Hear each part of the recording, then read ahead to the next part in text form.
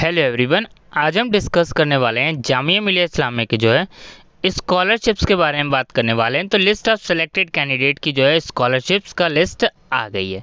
आप कैसे चेक कर सकते हैं? सबसे पहले आपको जामिया मिलिया इस्लामिया की साइट पर विज़िट करना है J M I dot A C dot in तो जैसे ही आप जामिया मिलिया इस्लामिया की साइट पर विज़िट करेंगे, यहाँ पे आपको फेलोशिप एंड स्कॉलरशिप वाला ऑप्शन दिख जाएगा। आपको इस पर क्लिक करना है।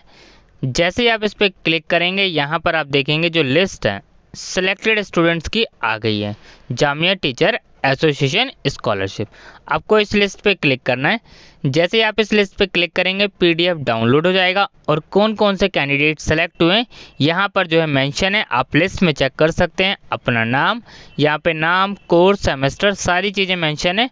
तो आप जो अच्छे से चेक कर लीजिएगा। जो जो बच्चे एलिजिबल हैं, यहाँ पे स्कॉलरशिप्स का सारा यहाँ पे लिस्ट कंप्लीट आ गई है, ठीक है?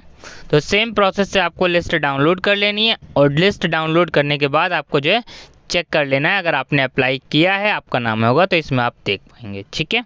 तो ये मैंने आपको बाकी कंप्लीट लिस्ट भी दिखा दी है, ठीक है?